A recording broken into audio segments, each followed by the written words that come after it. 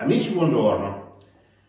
Della National, che è a un mese dalla sua presentazione, che ha già dato dei riscontri estremamente positivi, è emerso mh, sia a voce che dai social, dai report che sono apparsi sui social, un aspetto estremamente interessante.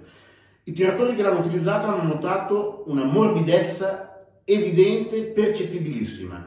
Tutti sono concordi nel dire che è una cartuccia che batte poco, dà eh, poco eh, rinculo e poco rilevamento, quindi una seconda canna estremamente rapida, estremamente efficace ed è un pochino uno dei, dei nostri punti a cui tenevamo di più. Diciamo che abbiamo centrato un obiettivo primario molto importante. Quello che un po' la gente non ha ancora capito, non ha ancora forse per, perché non è stato sufficientemente propagandato, non è stato spiegato con una chiarezza adeguata, è l'efficacia del Boslo Gordon. Il Boslo Gordon ha veramente dei grandissimi meriti in questo discorso eh, relativo all'affievolimento del rinculo e del rilevamento.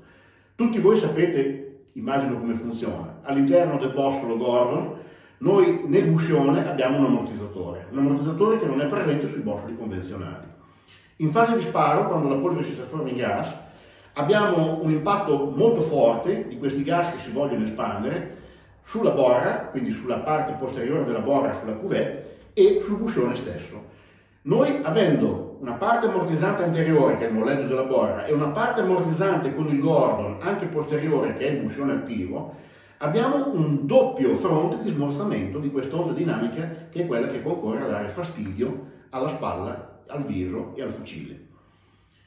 Il Gordon è molto importante. Se noi lo avvertiamo su una cartuccia come questa a 24-28 grammi, vi potete immaginare come lo avvertiremo sulle cartucce più pesanti da caccia dove abbiamo grammature importanti, abbiamo velocità molto alte e quindi sollecitazioni ancora più spinte.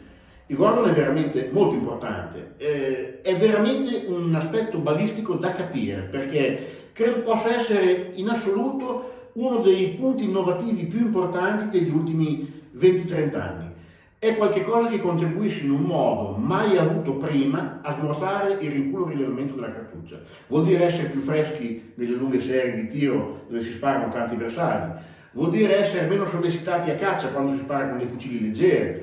È un aspetto estremamente importante. Eh, penso che valga la pena per tutti di considerarlo, di guardarlo attentamente e di valutare quali siano gli effetti positivi che vengono da questo bosco straordinario. Bene, questo è quanto volevo dire a tutti voi, un saluto.